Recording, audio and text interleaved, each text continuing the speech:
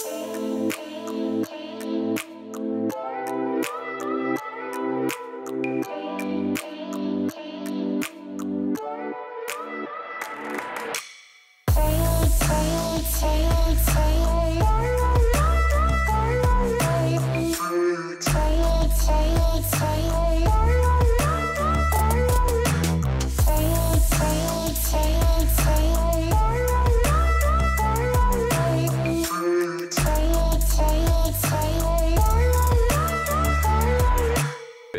5.17 in the morning. We woke up at, our first alarm was at 2.36 in the morning and we slept in the car the fullest my car's ever been because my car has not been home in over a year and a half. So we were essentially sitting up, sleeping. It's absolutely miserable. I think we only got two hours of sleep. As you can see, these are the peaks you normally see in Moraine Lake, but we're hiking to a trail, uh, Larch Valley to some lakes it's hard to pronounce the name, but we should be able to get up there by sunrise.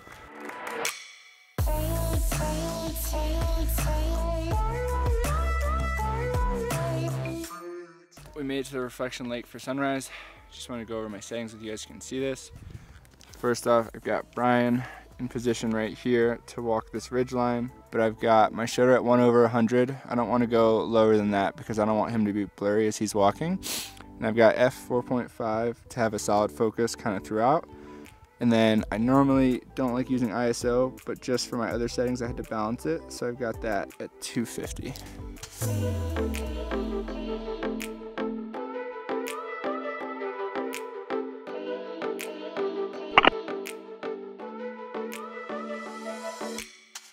Just pulled out 7200, so 1635 looked great, and you can get all these mountains reflections but I kind of wanted to get something with some compression.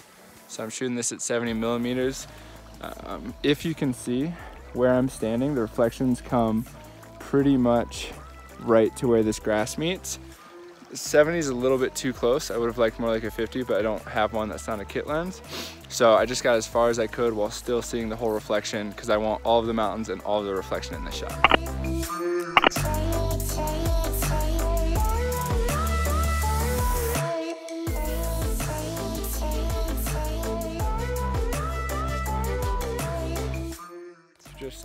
Shot sunrise at Reflection Lake and we hiked up a little further. The patterns in the snow are super, super cool and they're making for some cool shots with reflections. And just you guys know, I do have a polarizer on right now, but I'm actually switching between, so it's variable. So every time you move it, the polarizer shifts and it kind of changes how it affects the light and the glare in your photo. So for some of these, I'm turning it where there's no glare and sometimes with glare. I'll turn it right now so you guys can see what I'm talking about. Like right now, that's a lot of glare and that's not much glare at all. But I actually kind of like that because this mountain peak comes through. How you feeling? That hike was brutal, man. I so, got a cold coming on, but I'm alright. I'm alive. That's what we like to hear. We're up here getting bangers.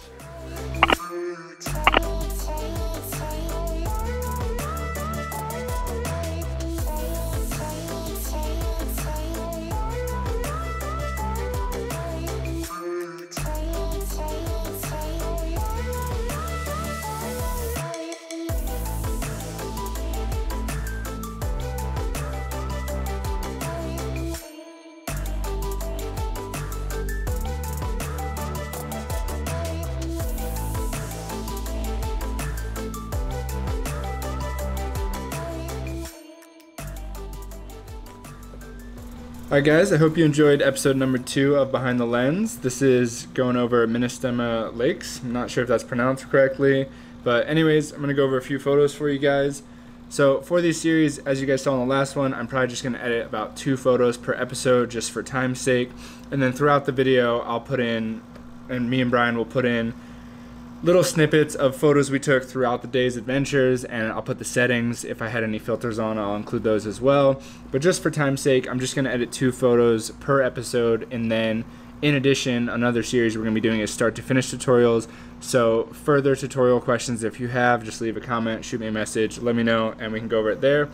As far as this photo goes though I took this on a 70 to 200 G Master and I had Brian walking across the lake And I would have preferred to have been further back, but if I had gone further back, this grass right here would have cut off the top of the peak's reflection, and I really did not like that. So to avoid that, I would have preferred to have shot this with a 50 millimeter, maybe a 55 millimeter. However, I don't have one of those that isn't a kit lens, so I wasn't able to have that luxury. Anyways, I made it work with this 70 millimeter. I'm super stoked with this shot, and I'm just gonna go over quick Lightroom edits with you guys to get my final image. As usual, I'm gonna go down on highlights, up the shadows, up the whites, down the blacks, and down the contrast. Also, before I forget, remove chromatic aberrations, and enable profile corrections. And for the most part, Lightroom's pretty smart. If you guys see right here, I didn't tell it this. Uh, Lightroom kind of just knows I was shooting on a Sony FE mount with a 7200 G Master, as you can see. So if it doesn't know that, I mean, you can just come in here, pick your uh, model, pick your make, your lens, all that crap. But for the most part, Lightroom is very smart with this stuff. So with this base edit, I am pretty happy with it, but the sunrise we got, it was incredible, but it was a little bit weak on color and there weren't any clouds. So I am going to bump up the, the white balance quite a bit to the warmer side. I really want kind of the morning glow to come in through this photo, and it wasn't initially. I'm going to bring up a little bit of magenta to match that so the photo is not too green. Go up a little bit more in white balance. Like that a, a lot. I can probably go up in exposure a little bit, but right there you can see my highlights start to get blown out, so I'll have to drop the highlights, maybe drop the whites, two stops, that looks better. You see before, after with the backslash key. I'm gonna up the vibrance just a little bit, but I'll probably do more of that in the HSL tab. Still a little bit bright, maybe I have to drop the exposure. Yeah, that's probably better up the shadows just so Brian comes through a little bit clearer. And then I'm going to up the clarity for re reflection shots, excuse me, reflection shots in lakes. I think upping the clarity definitely helps the photo. And even sometimes the dehaze I think looks good. And I don't normally touch the tone curve as I mentioned in the last video, but because Brian is kind of like a pure black, I really want to just kind of up that just a little bit so he comes through more. And then to negate that, I'm going to drop the mid blacks and kind of just, if I'm going to touch the tone curve, I'll just do kind of like a very minimal S curve and drop the pure whites. And then for the hue, I'm going to drop the blue a little bit more towards aqua, even though there's not many blues in the photo. See if I can drop the luminance maybe to get a little bit more. Yeah, that helps. Even just a little bit. And I'm definitely going to saturate the oranges. Maybe not that much though. And the yellows, because I really want that color to come through. And I think, honestly, for that, pretty happy with that. Maybe put the luminance of the oranges up so they're not too pungent. And the yellows. I think that looks really good though. I don't really feel the need to take this into Photoshop. It's got everything I think it needs. And this one grass patch right here, I'm not a big fan of. And the purpose of this photo was kind of for Instagram. I took all my photos horizontal for my prints that I would like to do. But for this, you know, the vertical, I definitely took this for Instagram. So I'm gonna pull up my crop tool and the Instagram crop for vertical photos is 4x5. So I just click that little preset that Lightroom has. And then I just want the grass out of that and then just the reflections and I think that looks pretty awesome so I'm just gonna export that at, that as is and that's it for this one guys alright guys so for this image it is Brian up at the top lake on this hike we did up to through Larch Valley I think up here Sentinel Pass but we didn't go that high but just for this you know start as always my kind of base edit and then I kind of just maneuver the photo how I want it after I have that base edit. I took this on my wide angle 1635 and I took it at 25 millimeters. Um, again, gonna bring this white balance up probably a good amount, but I'm gonna have to bring up the magentas to match it. And probably bring up the exposure a bit, but drop the highlights to negate that Looks pretty solid. And you can see there's some green hints in this lake. So I'm to see if we can bring up that saturation. Get a little bit of that. Maybe not too much. But you can definitely see something. And then up here in this little kind of dead grass, there's some yellows. I think the image could use some of that just for color. But now it might look a little too warm, so I'm going to drop the white balance again. And also, my highlights are all the way down, but since the sky has hints of blue, I can kind of bring that brightness down by dropping the luminance. And I think that gives the, the photo a lot more balance to it.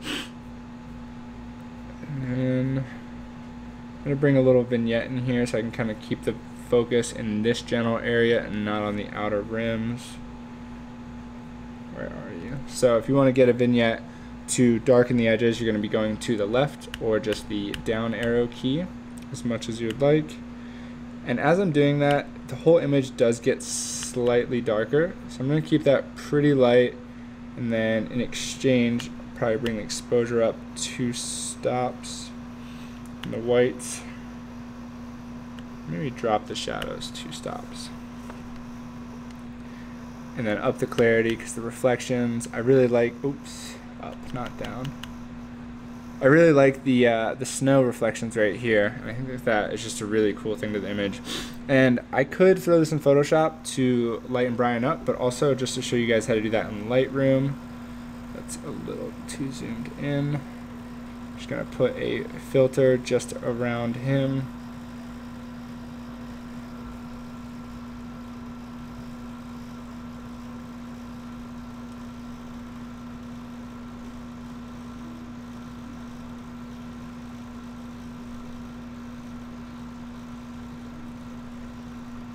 get that old filter out of there, invert it because I want to edit the inside. I'm just going to up the exposure as many stops as I can where without it looking unnatural like right there you can see this. And this is where Photoshop comes more in handy for selective edits. But just for purposes of this I'm to stick in Lightroom tighten that up on him.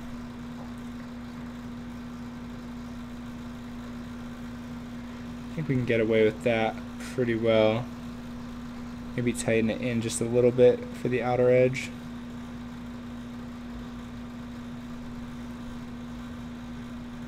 Also, I'm going to see if we can get the luminance of those yellows up because his hat really pops his hat out. And I think for now I'm pretty happy with that.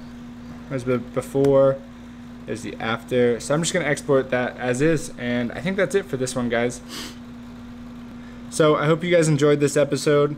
Uh, on the next one, we'll be going to all over Jasper National Park. It's going to be a really hectic day, a really busy day. We hit, I think, like six spots or something like that. So we're going to have a lot of photos through that one. So stay tuned for that one, guys.